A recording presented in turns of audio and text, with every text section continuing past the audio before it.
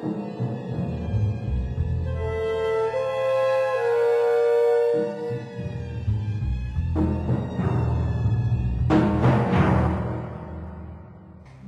a woman, the head teacher of a struggling local school, is found brutally murdered in Langstone Harbour, DI Andy Horton is appointed to lead the investigation, but not for long if Superintendent Uckfield has his way. Horton is given only a week to find the killer. After that, he'll be shunted off the case. Horton now has a point to prove, as well as a complex murder case to solve. A note was found on the victim. Have you forgotten me? along with money wrapped up in a five pound note and dripping with honey. Is there a clue in the owl and the pussycat rhyme? Is it simply a senseless murder by an unhinged killer, or does someone close to the head have a motive for murder? As Horton delves deeper into the investigation, aided by Sergeant Cantelli, the tension mounts. With the clock ticking, Horton is soon forced to take a decision that will put his life on the line.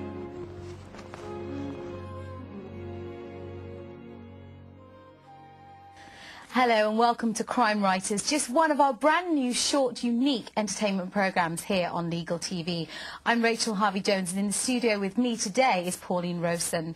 Pauline is the author of Marine Mysteries, Tide of Death, featuring D.I. Horton, and In the Cold Daylight, and of course in For the Kill. Pauline lives on Hayling Island, where her novels are set. But before becoming a full-time writer, Pauline ran a marketing and PR agency. Today we will be discussing Deadly Waters. Well, it's a pleasure to have you back. Thank you so much, Pauline. It's lovely to be here again. Um, once you. again, I mean, I, I thoroughly, thoroughly enjoyed um, your previous novel, mm -hmm. which we've uh, we've talked about um, on Crime Writers, where we're talking before we sort of delve in and talk, delve in, water, oh, sorry, it's rubbish. uh, before we talk about that, tell us a little bit how you sort of went from uh, owning a marketing and PR company to sort of writing crime novels. Ah, well, while I was running my marketing and PR company, I was also writing at the same time. Ah, right. Um, because it takes, you know, you a long time to get into your stream and to find your style. And um, being in marketing and PR, you meet a lot of very interesting characters as well. so it's very good material for your novels. Um, and uh, if I ever met anybody that I didn't particularly like, or shall I say that was rather nasty to me, mm. I'd think, right, I can put them in one of my novels yeah. now and they can feature as a nasty character. we can kill them off. or kill them off, yes. yes. Um, tell us a little bit about Deadly Waters, because I know that the first um, novel that you wrote, Tide of Death, features D.I. Horton. Yes. Uh, D.I. Andy Horton. And Deadly Waters is kind of a sort of a follow-on from Tide of Death, isn't it? Yes, that's right. Um, it's the second in the series, mm. Um, and I'm just finishing the third now. so um, hopefully re my readers are going to have a lot of uh, D.I. Andy Horton.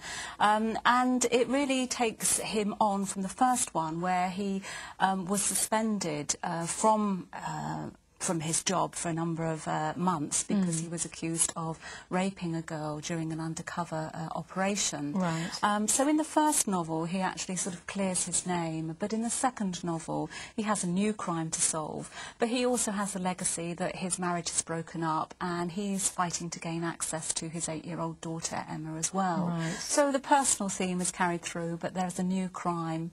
Um, and uh, there's a newly formed major crime team in Portsmouth where it is set, and uh, Andy wants to be on that team, and mm. he hmm. finds out in Deadly Waters that he's not actually got the job. Oh. So um, he's got another point to prove. But where did your idea come from? I mean, if you do sort of wake up with ideas mm -hmm. uh, for Andy Horton. Um, Andy came from really a number of different things, but uh, locations are usually very strong with me. Mm. Um, they evoke a lot of ideas. And uh, with Andy Horton, uh, I was walking along Southsea Beach one morning. Because you're surrounded thought, by yes, beauty where you are, Lots of water and um, uh, lots of lovely scenery. And I was walking along the beach one morning and I thought, what if Um, what if? Um, he, uh, this detective was to stumble over a, a body, and uh, that's really where Andy Horton came from. But I didn't want him to be sort of like an ordinary detective, so he uh, rides a Harley Davidson, Hmm. and uh, he lives on a boat because since his wife kicked him out of the family home, he hasn't got anywhere to go. So he lives on a boat in a marina at the moment, and he's a very, you know, big sailing enthusiast, which fits in with the, the scenery around the novel. Of course. Um, I have to say that um, I've read In for the Kill, which is a, a novel we've spoken about in the past. I love your style of writing. I haven't read um, Deadly Waters because it's literally hot off the press. We were Yeah. very fortunate to have Pauline in with us at Legal TV.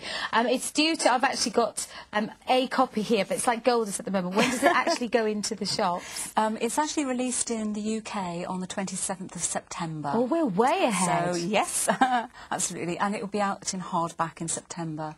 Fantastic. Uh, in the UK and the States in January. I look forward to reading it. Uh, how long does it take to, to write a novel, or does it does it vary? It takes me about a year uh, to write a novel, but my publishers are asking for one every six months at the moment, that's so I may have to speed up. No. But uh, but it, roughly about nine months to a year. I just finished a journalism course. I think I managed about three essays in a year, let alone a, novel. Now, as you know, you're, well, dare I say you're an old pro here on Legal TV now. and if you would be so kind as to uh, sign course. the inside of Deadly Waters. If you've just joined into us, you're watching Crime Writers, one of our brand new programmes here on Legal TV. We're with Pauline Rowson We're discussing Deadly Waters. Now, if you have already read uh, In for the Kill, if you could put it on our rather dashing bookcase. Thank you so much, Pauline. Thank you. Uh, if you already have read In for the Kill and you love um, Pauline's writing, then you'll absolutely love this book too. I've yet to read it because it is so new. It's uh, not available until September. Now, you, you sort of teased us with uh, a book that might be coming out very shortly after Deadly Waters. Yes. What's, what's your next project? Um, the next project is the third Andy Horton novel, which hasn't got a name at the moment. um, but um, I'm very pleased with it. It's coming along very well. Andy's personal life is, you know, has its ups and downs, and another complex case to solve. Is it on the up and up in the third novel? Him on the up and up. is his personal life? Oh, there are a few setbacks along the way. That means he's not going to tell us, basically. well, thank you so much once again for coming in and talking to us here at Legal TV. I'm going to ask you to make a promise, which is a little bit naughty of me, but will you promise to come back and discuss your ne- next Oh, novel with us? I'd be delighted, yes. oh, It'd be great you. fun. you Thank do realise I've got thousands of witnesses to that. right. No, that'd be a Thank- pleasure. Thank Thanks you. again. Um, don't forget Deadly Waters out in September, In for the Kill, which and lots of other previous novels, Tide of Death as well by Pauline Rowson. So do go out there, great reads. Until next time here on Crime Writers, bye bye for now.